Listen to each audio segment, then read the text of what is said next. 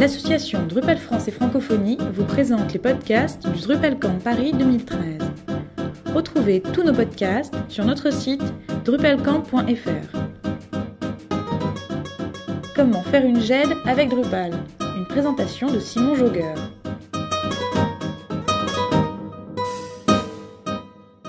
Alors, euh, donc pour commencer, une GED, c'est quoi? En fait, une GED, c'est relativement simple, c'est juste une gestion électronique de documents. On a deux types de GED. Euh, la GED qui sera plus orientée documents comme des euh, PDF, Word ou Excel, et une autre qui va plus se tourner vers tout ce qui est euh, média.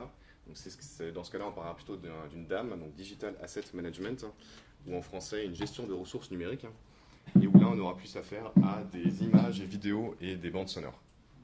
Merci. Euh, alors, pourquoi une GED Donc là, je vais vous montrer quelques chiffres aussi de euh, Christophe Dichamp, qui est responsable marketing chez IBM. Hum, il a des gains évidents en temps et en productivité une GED. Selon lui, rien que classer un document physique coûterait 20 dollars. Parce que la, la personne prend du temps pour classer ce document.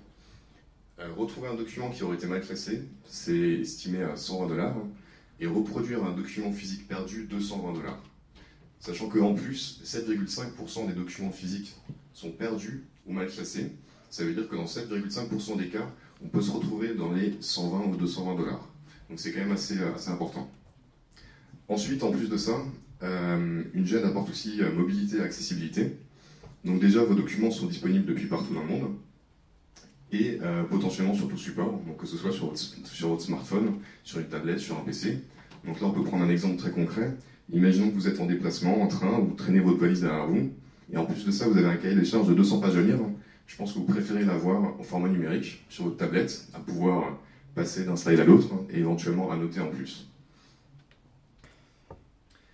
Alors, quels sont les composants indispensables d'une GED En fait, les composants, les quatre étapes majeures d'une GED, c'est l'acquisition, le stockage, le classement et la diffusion. Dans l'acquisition, on parle aussi très souvent de la numérisation des documents, donc réellement les scanner, mais euh, actuellement, c'est quand même plutôt de l'import ou de la synchronisation avec d'autres services. Le stockage, c'est simplement le stockage physique directement sur disque. Ça peut aussi se faire dans le cloud, mais on retrouve aussi ici le, versionning des documents afin de garder toutes les versions d'un document qui aurait été mis à jour. On a ensuite le classement, donc là c'est un classique avec les métadonnées, les catégories, etc. Et la diffusion avec la navigation et la recherche de ces documents. Alors, on va voir comment Drupal répond justement à ces, à ces étapes. hein. Euh, acquisition, stockage, classement, diffusion. Alors, pour l'acquisition, en termes d'import, c'est relativement simple. On a des modules contribués qui ont largement fait leur preuve. Il y a Feeds par exemple. Mais il est aussi possible de créer ces modules custom, bien entendu, si votre client devait avoir des besoins un petit peu particuliers. En termes de synchronisation ou d'interface avec des systèmes tiers, on a encore une fois énormément de, modules contrib. Je les cite évidemment pas tous, hein, je prends, j'en prends seulement quelques exemples. On a le module service ou CMIS API, et là encore, c'est possible de continuer, d'aller encore beaucoup plus loin en créant soi-même un module, euh, un module custom. En termes d'indexation des documents, là on reste sur du classique et euh, éprouvé Apache Solaire, qui euh, largement fait ses preuves.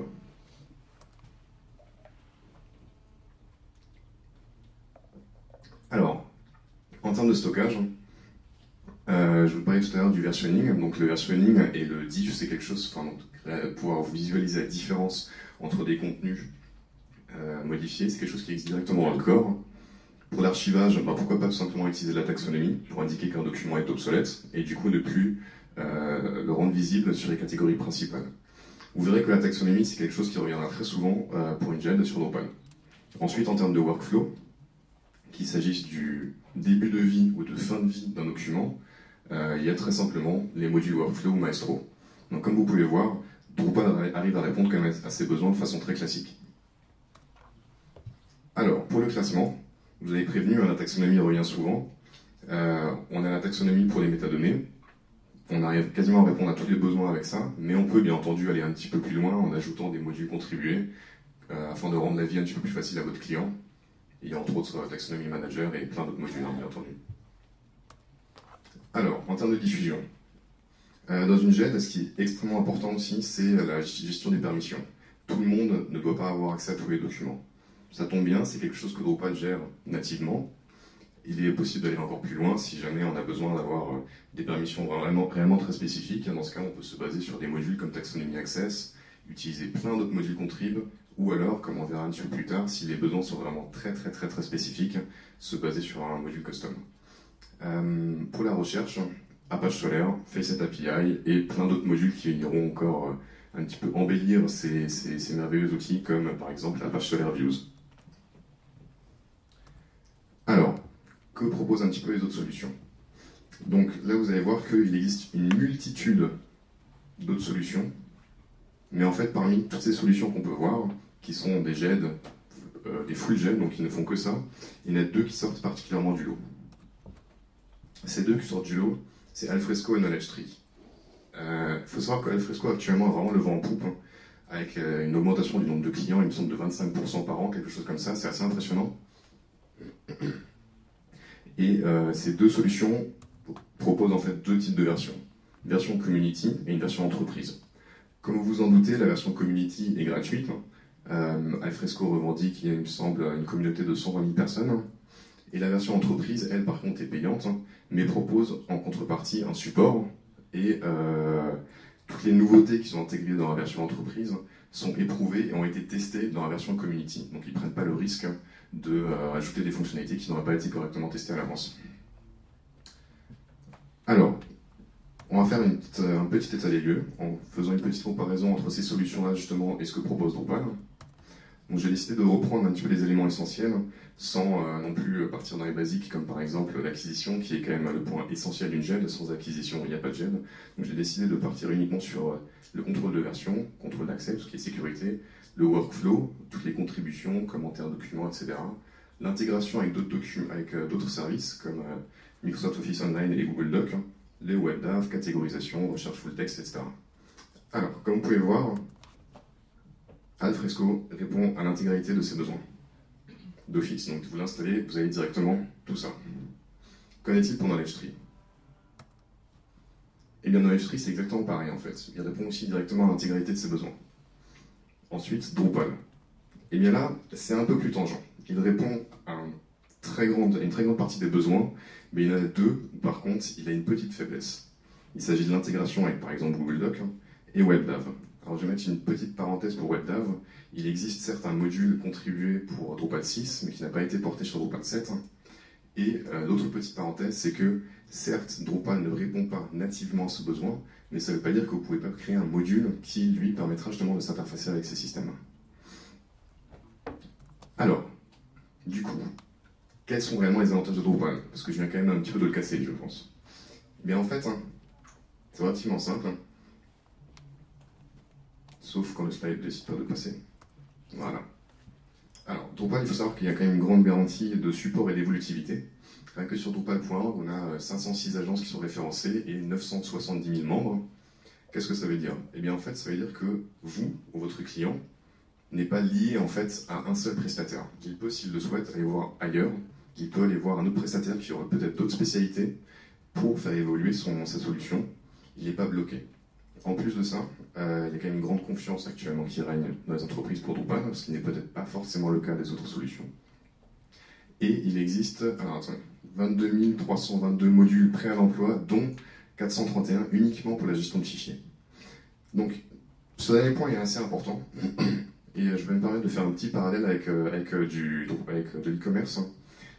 si on compare par exemple Magento et Drupal Commerce, il faut savoir que Magento est une solution e-commerce bien en place qui plaît, qui a énormément d'avantages, et pourtant Drupal Commerce grappille un petit peu des parts de marché. Ça se fait peut-être lentement, mais grappille quand même des parts de marché. Euh, je suppose, personnellement, que c'est parce que justement Drupal n'est pas exclusivement une solution e-commerce. Drupal est très modulaire, vous pouvez lui ajouter énormément de fonctionnalités. Vous pourriez, euh, votre site e-commerce, ajouter juste une partie site vitrine, ajouter éventuellement un blog, etc., sans que pour autant vous ayez besoin comme sous Magento, de faire des développements qui prendront beaucoup de temps. Donc c'est là justement toute la, toute la force de Drupal, parce que sa couverture fonctionnelle est sans limite. En fait, votre Drupal, je vais reprendre le tableau d'avant, mais en fait, vous pourrez ajouter énormément de choses. Plutôt que d'avoir uniquement de la GED, vous pouvez aussi rajouter de l'e-commerce, un RSE, un site vitrine, vous pourriez éventuellement aussi ajouter un agrégateur de flux, Et si vous avez envie de réellement ajouter beaucoup de valeur ajoutée, enfin, de mettre beaucoup de valeur ajoutée à votre, sur votre jet, je suis persuadé que par exemple en installant un module comme le Konami Code, vous pourriez encore une fois être le leader du marché. non, donc pour vraiment dire que la couverture fonctionnelle est sans limite sur Drupal. Vous n'allez pas seulement avoir une gel. Alors, à présent, je vais passer sur les cas clients. Donc là, on a pu voir un petit peu tous les éléments essentiels d'une gel. Et on va voir comment répondre à des besoins clients l'allemand.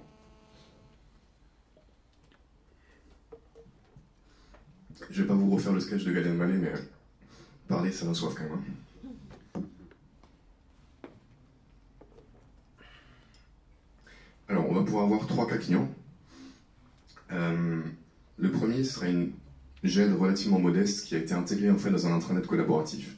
Donc ça c'est un petit peu ce que je disais aussi tout à l'heure, c'est que vu que la couverture fonctionnelle de Drupal est énorme, vous pouvez ajouter une, une GED dans une solution déjà existante. Le deuxième, euh, c'est pour un constructeur automobile. Donc là, c'était euh, uniquement, euh, c'était full GED. Et le troisième, c'était pour une grande marque de prêt-à-porter qui avait besoin de remplacer une solution vieillissante. Alors, donc, le premier cas, c'est une jet qui a été intégrée dans l'intranet collaboratif de MSF. Il faut savoir qu'au début, Médecins sans frontières avait une gestion documentaire qui était totalement décentralisée. C'est-à-dire que tous les documents étaient hébergés sur un serveur de façon absolument pas structurée. Ce qui veut dire que les personnes devaient se connecter au serveur, donc sur le réseau de l'entreprise en plus, chercher, fouiller dans les différents répertoires en espérant trouver le document de référence. Parce que si ça se trouve, ils avaient trouvé un ancien document en plus. Donc ça posait déjà beaucoup de problèmes, ils ne savaient pas s'ils avaient trouvé le bon document. Et en plus, Médecins sans frontières a quand même des équipes partout à travers le monde. Et euh, du coup, bah, se connecter au réseau d'entreprise, c'est pas toujours possible. Là, vous vous doutez bien que la solution a été relativement simple. Lieu de stockage centralisé, bon, bah, ça c'est un petit peu du classique dans on n'a pas fait grand chose. Euh, une recherche facilitée pour retrouver quand même ces documents, c'est le point essentiel d'une GED. Donc là, on a utilisé Faceit API. La mise à jour des documents de référence qui a été facilitée pour le client une gestion des permissions, ça, ça fait très plaisir aux clients aussi, même si en soi, on n'a pas réinventé la roue, c'est directement dans le cœur. Et le petit bonus, euh, afin que tous les gens puissent se connecter partout à travers le monde, c'était le LDAP. Donc le il faut savoir que c'est en fait un outil qui permet à des utilisateurs de se connecter sur le site Drupal avec les mêmes identifiants que ceux utilisés au sein de l'entreprise, généralement. Un petit visuel très rapide. Euh, donc vous pouvez voir, c'est du classique, euh, avec les facettes à gauche, une recherche en haut, les résultats au centre. Donc c'est quelque chose que les utilisateurs connaissent bien, ils se retrouvent facilement là-dedans. Alors, le deuxième cas. Là, c'était en l'occurrence pour un constructeur automobile euh, qui avait déjà à la base une médiathèque, hein, sauf que c'était vraiment que une médiathèque. Il n'y avait pas de métadonnées, pas de classement. Euh, le service marketing ne pouvait pas euh, créer des packs de communication pour ces différents concessionnaires afin de distribuer une communication localisée. Et afin de connaître le contenu d'un fichier, il fallait presque déjà le télécharger, l'ouvrir pour savoir ce que c'était. Donc c'était assez, chaotique quand même. Et en plus de ça, il n'y avait aucun moyen de le partager directement. Donc, qui, en gros, il ne pouvait pas prendre un pack de communication et l'envoyer éventuellement à, tout un tas de concessionnaires.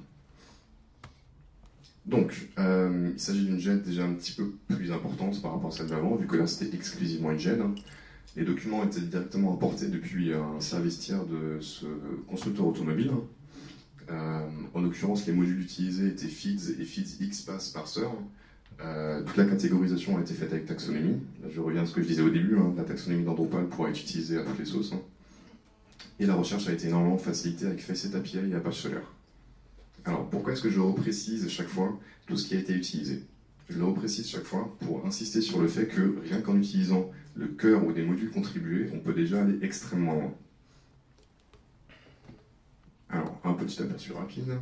Donc là, j'ai pas de commentaires particuliers à faire. Je pense que tout le monde se retrouve un petit peu dans son interface. Hein, avec les, les facettes à gauche, une recherche en haut encore une fois, les résultats au centre, avec des petits boutons qui permettent de télécharger, partager, mettre dans son panier, etc. Enfin, c'est relativement classique. Le service marketing qui était content d'avoir un dashboard et surtout cette petite partie en bas qui, permettait de euh, euh, cibler réellement la personne connectée, le concessionnaire qui est actuellement connecté sur le site afin qu'il ait son pack de communication. Voilà, donc ça c'était euh, du coup une dame. Alors le troisième cas est particulièrement intéressant. Là il s'agissait d'une grande marque de prêt-à-porter qui a à peu près 300 boutiques il me semble à travers le territoire qui a toute une équipe de personnes itinérantes hein, qui en fait passent d'une boutique à l'autre hein, pour analyser si les objectifs de vente ont été atteints. Et pour ça, il se base en fait sur euh, des documents PDF hein, avec du coup les chiffres de la veille, du semestre précédent, de l'année précédente, afin de faire des comparaisons, voir s'il y a une évolution des ventes ou non. Sauf que toute cette gestion euh, des PDF était absolument manuelle. Euh, en fait, ils avaient une sorte de génératrice qui euh, reprenait tous les chiffres de vente, générait des PDF, stockait tout sur un lecteur réseau, et les itinérants venaient se connecter tous les soirs avec leur PC portable, télécharger l'intégralité sur leur ordinateur, et le lendemain matin, ils étaient contents, ils avaient tout, à moins que ça n'ait pas marché pendant la nuit, et lorsqu'ils ne pouvaient pas travailler pendant une journée. Donc ça, c'était quand même très limitant pour eux. Euh, la gestion des permissions, là encore une fois, était assez, euh, assez, euh, assez minimale. C'était en gros un répertoire par personne. Donc c'était quand même extrêmement problématique pour eux. C'est pour ça qu'ils avaient besoin d'une réelle GED pour répondre un petit peu à leurs besoins. Du coup, ce qui a été réalisé, c'est simplement, encore une fois, le classement par taxonomie, l'import automatique. Là, par contre, vu que le client ne pouvait pas réellement changer la solution qu'il avait déjà en place, donc de toute la génération des documents PDF. Hein. Un module custom a dû être fait. Comme vous pouvez voir, c'est le premier cas où on parle d'un premier cas client où on parle d'un module custom. Euh, une fois par jour, du coup, l'intégralité des PDF était récupérée, déplacée du côté Drupal, importée dans la base de données et indexée par Apache Flare. Il y avait toute une historisation des documents aussi qui devait avoir lieu, parce que forcément, si on a des chiffres de vente de la veille, vous imaginez que 20 jours plus tard, bah, ça fait 20 versions. Euh, l'indexation avec Apache Solaire, on avait en fait une, euh, un laps de temps très court pour indexer tous ces documents, donc c'était à peu près 6000 PDF par, jour. c'était 20 PDF par boutique, il me semble, donc 20 x 300 boutiques, ça nous fait 6000 PDF. On avait deux heures pour indexer tout ça. C'est une volumétrie à laquelle on ne s'attendait pas trop au début. Surtout quand on s'aperçoit que par mois, ça fait quand même 180 000 PDF et par an, 2 160 000 et. Euh, si mes souvenirs sont bons, c'était de l'ordre du, euh, enfin, des 10 teraoctets de PDF par, an. C'était assez impressionnant. Euh, alors, ensuite, les deux derniers points sont vraiment très intéressants. Je vais un petit peu plus m'y attarder. Donc, le premier, c'était la gestion des permissions qui devait être gérée de façon hiérarchique. Et le second, c'était la délégation des permissions. Donc, je vais y revenir un petit peu plus tard. Je vais d'abord vous montrer rapidement l'interface des résultats de recherche. Donc, comme vous pouvez voir, vous avez encore une fois l'interface classique, à gauche les catégories ou les tags, au centre les résultats, et le gros bloc que vous voyez, c'est en fait toutes les différentes euh, versions qui existent. Et en bas, la barre bleue qui permet d'accéder à ce qu'ils appellent les, versions historisées, donc c'est-à-dire tout ce qui a été archivé. Alors, revenons-en aux permissions hiérarchiques. En fait, le besoin était relativement exprimé de façon relativement simple. Fonctionnellement, ça paraissait très intéressant, techniquement parlant, c'était un réel challenge. En gros, tous les documents qui étaient accessibles à un salarié C devaient également être accessibles à, son manager et du coup à son directeur. Donc ce qui veut dire que euh, tous les documents accessibles au salarié A et B devaient être accessibles au manager 1, mais ne devaient pas être accessibles au manager 2. Donc jusqu'à fonctionnellement on comprend bien ce qu'il faut, mais bon, en termes euh, techniques, c'est un petit peu plus compliqué. Là, on a dû réaliser un module custom qui allait apporter en fait l'intégralité de l'organigramme de l'entreprise à partir de leur LDAP pour ensuite gérer toutes les permissions ainsi. Et euh, évidemment, malheureusement, dans Drupal, on ne peut pas gérer les rôles comme la taxonomie en les déplaçant avec une petite hiérarchie, ce serait bien, mais malheureusement, ça ne marche pas. Donc ça, c'est un challenge, euh, mais c'est intéressant. Ça a pris pas mal de temps. Ça, c'est aussi important. Je, je reviendrai dessus tout à l'heure pour expliquer pourquoi. Euh, on retrouve un, ce schéma un petit peu similaire pour la délégation des permissions. Donc là encore, le besoin était relativement simple à comprendre. Imaginons que le salarié, pardon, imaginons que le salarié B part en congé pendant une semaine. C'est un peu embêtant quand même, personne qui sera là pour traiter ses documents, pour euh, aller travailler, etc. Et bien en fait, du coup, il délègue ses permissions au salarié C afin que lui puisse accéder à tous ces documents. Ce que ça implique aussi, c'est que du coup, tous les supérieurs du salarié C doivent également avoir accès aux documents du salarié B. Ça, tout le monde me suit encore? Ok. Donc ça, encore une fois, c'était compliqué euh, techniquement, mais fonctionnellement, c'est vrai que le besoin paraissait relativement compréhensible. On a du coup ici un petit aperçu de, euh, de justement cette interface des délégations. On peut voir les délégations qui ont été accordées, on peut voir les délégations qui ont été reçues. On peut d'ailleurs aussi constater que euh, les délégations ont bien entendu date de début, date de fin, qu'on peut les modifier, qu'elles peuvent concerner soit tous les documents, soit certaines catégories, soit des tags, etc. Donc c'est aller relativement loin quand même. Là encore une fois, c'est un module custom qui a dû être mis en place. Donc, comme on peut voir, euh, pour ce projet, on a été obligé d'aller un petit peu plus loin. Se baser exclusivement sur ce que propose déjà le cœur de Drupal où les modules contribués ne suffisait plus. On a été obligé de créer des modules custom. Ça fait jamais très plaisir quand on doit créer des modules custom d'une telle ampleur, mais on n'a pas trop eu le choix. Et au final, le résultat est assez probant. Mais du coup, se pose quand même un petit peu la question qui fait mal. À l'instant. C'est celle-ci. Est-ce qu'on peut toujours utiliser Drupal pour FrameJoin Parce que comme je disais au début, il y a quand même des solutions en place qui semblent répondre à beaucoup de besoins. Donc si dès qu'on arrive, dès qu'on va un petit peu trop loin, on a besoin de faire trop de custom, est-ce que réellement Drupal vaut encore, la peine d'être utilisé? Alors, je vais un peu euh, faire mon suisse, hein, je vais dire oui, non, mais. Hein, mais euh, alors, oui, parce qu'effectivement, c'est vrai, on dit très souvent qu'avec Drupal, on peut répondre à tous les besoins. On peut tout faire avec Drupal. Je ne sais pas si vous avez vu euh, la vidéo, une vidéo virale de la DrupalCon à Portland où justement, un après l'autre, toutes les personnes disent qu'on peut faire avec Drupal et à la fin, en gros, la conclusion c'est oui, on peut tout faire avec Drupal. C'est vrai, on peut tout faire avec Drupal.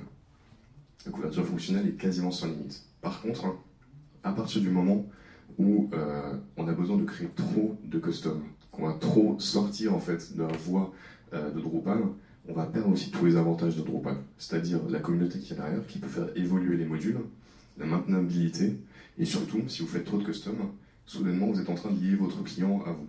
Il ne pourra plus aller voir ailleurs. En tout cas, ce sera beaucoup plus difficile. Donc c'est là où du coup, on atteint un petit peu les limites de Drupal. Mais pour en arriver là, il faut quand même avoir des demandes qui sont très très très spécifiques. Et ça concerne plus que des très grands comptes ou des, euh, entreprises avec des, des gels absolument énormes. Euh, ce qui est quand même, je pense, représenter une très petite part de marché.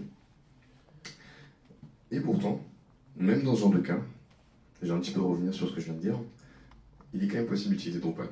Alors pourquoi? Euh, En fait, parce que Drupal et Alfresco travaillent beaucoup ensemble. Il y a une petite synergie qui s'est créée entre ces deux, entités. Euh, comme je vous disais, hein, la version community de Alfresco a quand même une communauté de. Enfin, oui, Alfresco a quand même une, la version community de Alfresco a une version community. Enfin, une community. La version community de Alfresco a une communauté de 120 000 personnes, voilà, qui arrivent.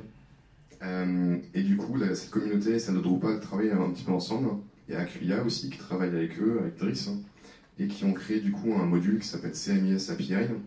Et ils sont beaucoup axés justement pour pouvoir faire collaborer ces deux, ces deux solutions.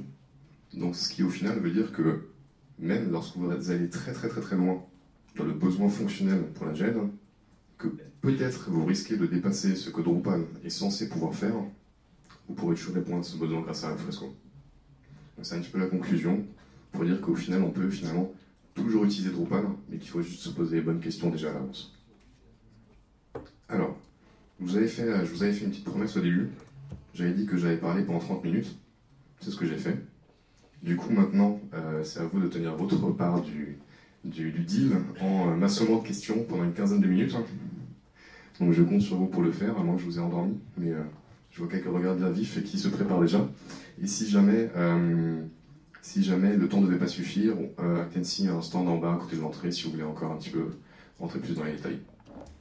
Oui La première question, c'est sur euh, les performances. Est-ce qu'une solution euh, sur une grosse gel avec énormément de documents, est-ce que Drupal va pouvoir concurrencer une solution comme Alfresco par exemple Alors la question c'était si Drupal peut réellement tenir la charge par rapport à d'autres solutions. C'était bien ça? Ok. Alors, effectivement, euh, comme je vous disais tout à l'heure, pour le dernier cas client, on ne s'était pas attendu à cette volumétrie.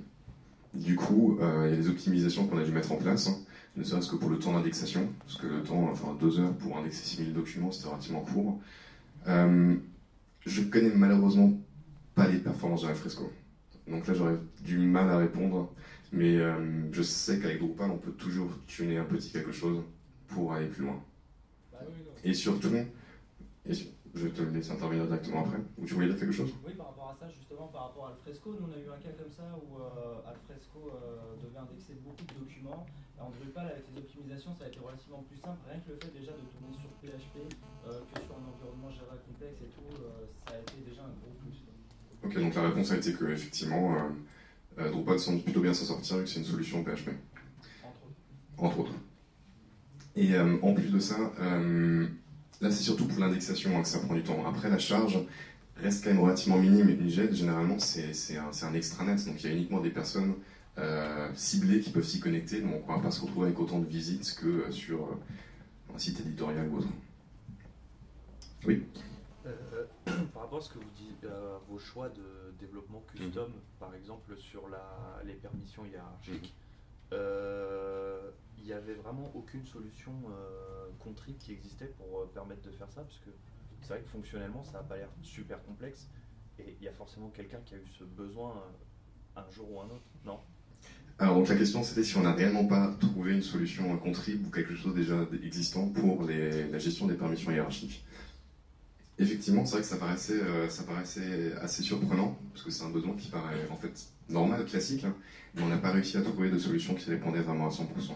On s'est basé sur, euh, sur des bouts de code qu'on pouvait trouver à droite à gauche, hein, bien entendu, euh, mais un des points qui posait particulièrement problème, c'était qu'on devait importer en fait l'organigramme directement depuis le LDAP du client.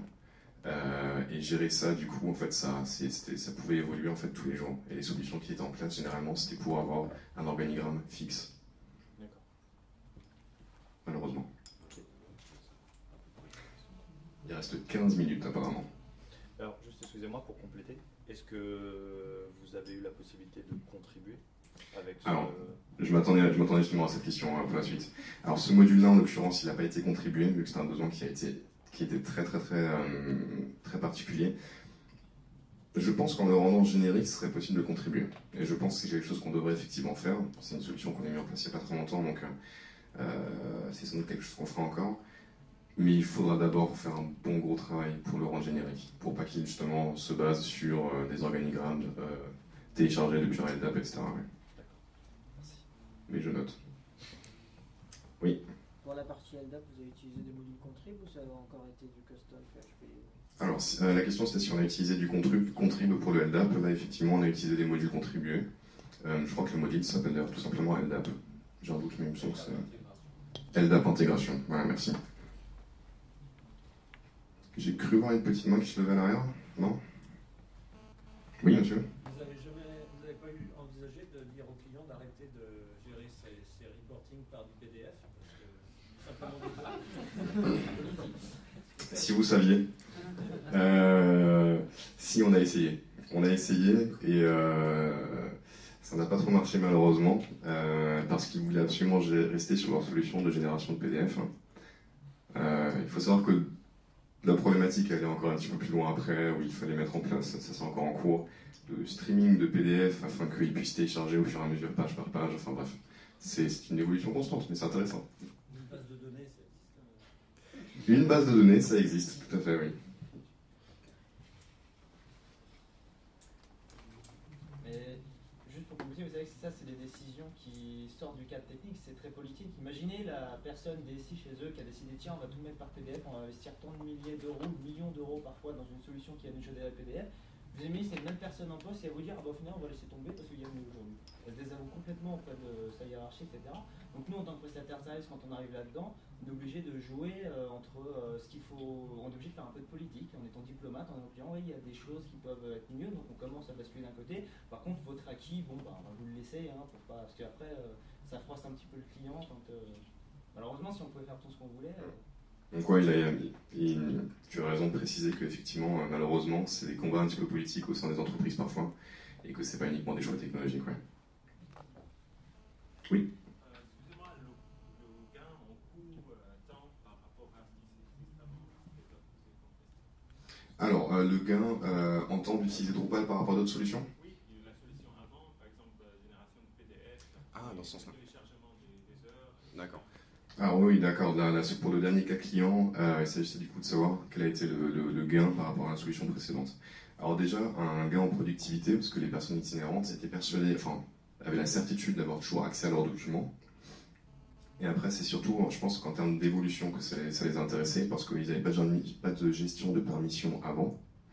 Et euh, en fait, c'est grâce à, grâce à du coup cette solution, ils peuvent beaucoup plus facilement accéder, euh, les personnes itinérantes dans les différentes boutiques, euh, à l'historique. Parce qu'avant, ils avaient chaque fois que le jour précédent, le trimestre précédent et l'année précédente.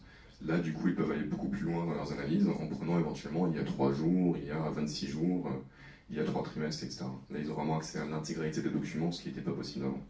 Sinon, ils se retrouvaient par an avec euh, 10 teraoctets euh, à côté de leur PC portable. Quoi.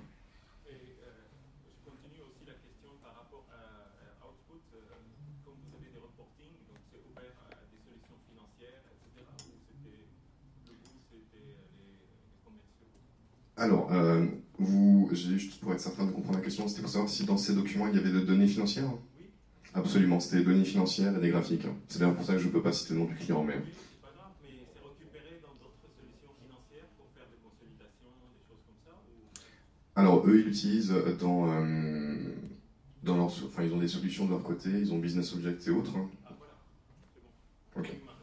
D'accord, très bien. Euh, du coup, euh, la question, monsieur, vous avez pensé à vous en termes de coût pour le coup Est-ce que euh, vraiment avantageux de prendre Drupal plutôt que prendre une solution, encore une fois, comme Alfresco qui fait plus de choses nativement Alors, nous, personnellement, pas, je sais pas su répondre aux besoins avec Alfresco, déjà. Euh, après, tout est toujours euh, question d'estimation au début du projet, bien entendu. Si on arrive à réellement analyser le besoin du client à l'avance pour pouvoir justement estimer toute la charge que ça peut représenter, il y a moins de chances de, foncer dans le mur, ce qui a heureusement été le cas de, ce, projet. Mais même si on va un petit peu euh, au-delà de ça, euh, quand on repense justement à ces, permissions hiérarchiques ou à cette délégation de, permissions, c'est quelque chose qui reviendra certainement dans d'autres jets qu'on va devoir faire. Et là, du coup, c'est quelque chose, c'est un savoir qu'on a déjà acquis. Donc il y a certes une rentabilité financière, mais aussi euh, du coup en termes d'expérience. Oui, mais tu as affiné la, la mise en place des permissions euh, au travers du corps? Non, non, le corps n'a pas été. Alors, la question était, la question était si, si on a utilisé les permissions du corps. Non, mais pour les autres projets, quand tu utilises les, permis- les Mhm. permissions du corps, Oui. peux-tu affiner la mise en place de. Alors, si on peut un petit peu peaufiner du coup les, les- la gestion des permissions, aller plus loin que ce qu'offre le corps, Non, non, nativement? en utilisant le corps. En utilisant le corps, c'est ce qu'on a utilisé pour les deux cas clients précédents. On est, on est resté exclusivement sur ce que proposait directement le corps de Drupal. Et comment? Euh, très simplement, avec, euh, enfin très simplement, euh, une bonne répartition dès le début des différents rôles qui doivent exister. Et du coup, après, en utilisant l'interface des permissions de Drupal en disant quel rôle aura accès à quel type de document, par exemple. pour un, même- pour un même type de document? Au sein d'un même type de document, dans ce cas, voilà, dans ce cas, il faudrait plutôt partir sur, sur du taxonomy access, par exemple. Tout à fait.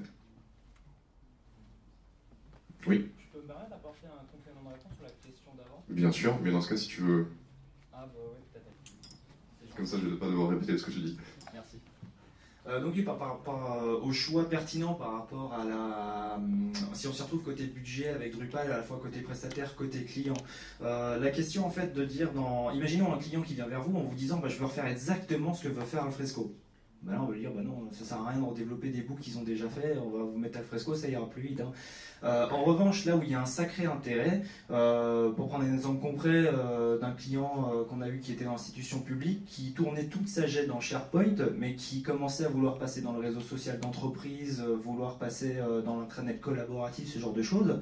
Euh, les solutions qu'il y avait en face, c'était de dire ah ben, on va reprendre euh, Fresco, enfin non, on va reprendre SharePoint, ensuite on va mettre SharePoint Portail dessus, on va mettre machin. Résultat des courses, quelques millions à la facture, et il a dit ah ben non, c'est juste pas possible dans le contexte actuel. Euh, il s'est tourné vers l'open source, il a découvert Drupal, etc. Il s'est avéré, en effet, avec Drupal, quand on a bien posé à plat son besoin, que la gestion de GED en fait n'était pas aussi évoluée qu'il en avait besoin. C'est-à-dire, on n'avait pas besoin d'ouvrir euh, Microsoft Office Online, etc. Il avait juste besoin de stocker des, des fichiers, etc. Par contre, en dehors de ça, il fallait pouvoir indexer du contenu de ces documents, pouvoir ensuite faire des articles, liker les articles, etc. Euh, là, vous avez euh, le client s'y retrouve avec une proposition, avec un Drupal qui gère globalement tout, même s'il y a eu un peu de dev custom à faire, face à, je sais pas, trois ou quatre solutions, dont la moitié propriétaire avec des licences euh, tournant pas sur les mêmes environnements. Et là, je vous assure que niveau budget, tout le monde s'y est retrouvé très très rapidement. Voilà, C'était par rapport à ce que tu disais, par rapport à ce qu'il faut faire Alors moi, je nuancerais la, question du tout custom. Faire du tout custom pour faire un truc qui existe déjà très spécialisé, là, en effet, il n'y a pas d'intérêt. Par contre, faire du custom euh, pour couvrir des périmètres fonctionnels divers et variés, y compris des euh, problématiques avec des droits qui ne sont pas forcément couverts, là, ça a quand même un sacré sens parce qu'on ne part pas sur euh, euh, sur du rien du tout. Et puis surtout, euh, on a une transversalité euh, de fonctionnalité. Pour, je pense qu'on partage la même vision de Drupal, c'est-à-dire que Drupal aujourd'hui est vraiment pressenti pour être une technologie, une espèce de monotechnologie qui permet d'adresser des besoins qui sont très variés, qui aujourd'hui sont couverts que par des solutions silos qui répondent précisément à ce besoin et qu'il faut accumuler, etc. Et du coup, ça tombe plutôt bien, je voulais un petit peu accentuer ça encore. Tu parlais tout à l'heure de plusieurs solutions propriétaires. Euh, il faut savoir que du coup, là, le client, il se retrouve avec une seule solution. Donc il a une seule chose à maintenir, il n'a pas besoin d'avoir plusieurs équipes spécialisées dans différentes technos ou différents, euh, différents portails. Il a juste une solution qui est beaucoup plus du coup rentable à maintenir. Oui, enfin, il y avait le monsieur juste vous. Je suis désolé.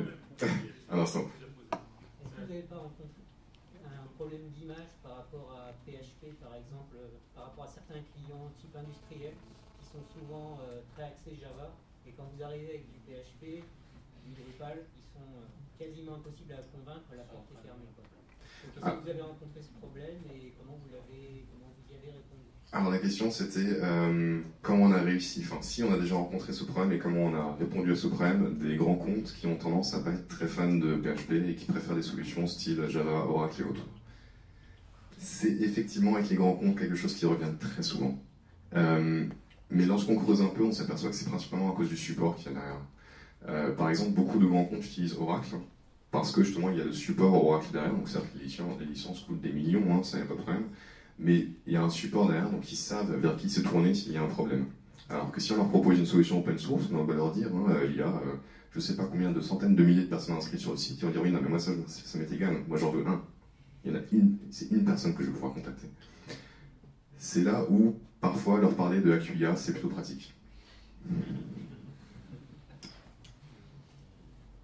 Oui, monsieur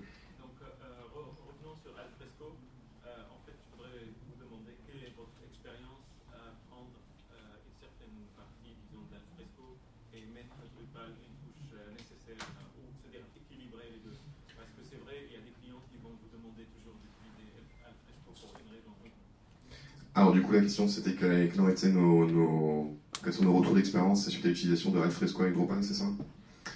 Alors je ne vais malheureusement pas pouvoir répondre à la question parce qu'on n'a on jamais eu ce besoin, enfin on n'a jamais eu besoin de faire une jet qui allait tellement loin qu'on a dû laisser tomber Drupal pour, euh, ou alors qu'on a dû utiliser Drupal pour une partie et Alfresco pour l'autre. Désolé. Peut-être que quelqu'un dans la salle a déjà rencontré ce cas de figure? Ah bah voilà, parfait. Autant en profiter. Ouais, malheureusement, c'est pas extrêmement miraculeux. Euh, on est en R&D personnellement là-dessus euh, pour essayer de faire des interactions vraiment propres, mais en, se basant sur le protocole CMIS avec le module euh, qui a été contribué sur Drupal, on arrive quand même à faire des choses sympas. Ceci dit, le fonctionnement est quand même silo aujourd'hui entre l'alfresco qui tourne et le Drupal. les interactions pour l'utilisateur final marchent globalement bien et l'impression d'être sur une plateforme assez unique, euh, pas l'impression qu'il y ait deux plafonds qui tournent. Ceci dit, dans la réalité, on a une maintenance pour un Alfresco, une maintenance pour un Drupal. Euh, au niveau développement, ça a forcément pris un petit peu plus de temps. Il y a eu quelques petites galères, etc. Donc c'est au début, en tout cas, c'est sûr que c'est un phénomène qu'on voit dans l'open source, c'est que c'est des, des les communautés commencent à travailler entre elles parce qu'elles ont chacun leur point de spécialisation et puis elles ont compris que pour concurrencer le propriétaire euh, au niveau business, il fallait se regrouper. Donc c'est vraiment en très très bonne voie. Ceci dit, pour l'instant, la solution miracle n'existe pas encore. Et- mais si, mais si, c'est Drupal. Encore des questions? Donc il reste plus que 4 minutes. Donc du coup, soit on fait très rapide, soit vous pouvez encore venir vers le stand là-bas. Monsieur Ouais, je, je reviens sur votre euh, bon, répartition des rôles et la, la nécessité d'importer un, Mhm. un- un organigramme de l'entreprise. Je me pose la question, je voulais vous la poser en, Mhm. en privé, mais puisqu'il y a un peu de temps. Pourquoi les groupes et sous-groupes ne répondent pas à la question Donc je prends le, le le salarié B, je le mets dans le groupe du salarié C, puis la réponse est, obtenue. Parce qu'en fait, le problème qu'on avait, de ce point de vue-là, c'était que les, les groupes, déjà, bougeaient relativement souvent. Ils avaient un organigramme qui n'était pas fixe, malheureusement. C'est ce que je disais tout à l'heure aussi, où l'organigramme pourrait être mis à jour tous les jours. Donc ça aurait signifié aussi la création de groupes et suppression de groupes tous les jours. Et surtout, euh, pour les délégations, après, du coup, ça aurait signifié qu'il aurait fallu prendre un utilisateur, le mettre dans un groupe, hein, pour ensuite le reprendre le remettre dans l'autre groupe. hein. Alors que là, en l'occurrence, les permissions étaient réellement gérées, enfin, pouvaient être gérées par document. C'était pas forcément par, par, euh, par rôle. Ça pouvait aller vraiment beaucoup plus loin. Et c'est là où justement on rencontrait cette limitation, malheureusement. Oui, je sais, le besoin était assez, euh, assez tordu.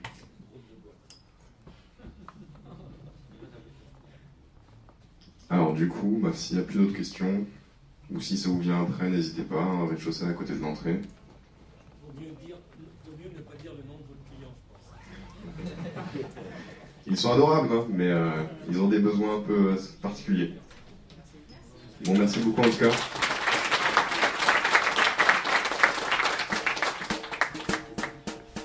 Les présentations, les vidéos et les podcasts sont disponibles sur notre site drupalcamp.fr. Retrouvez toutes les actualités de l'association Drupal France et Francophonie sur notre site drupalfr.org. À bientôt!